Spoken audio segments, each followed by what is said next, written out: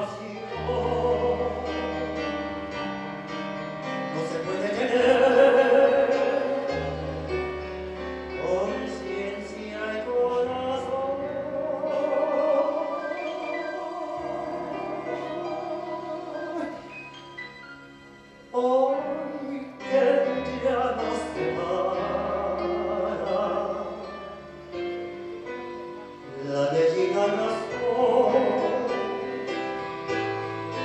Y las almas hablarán,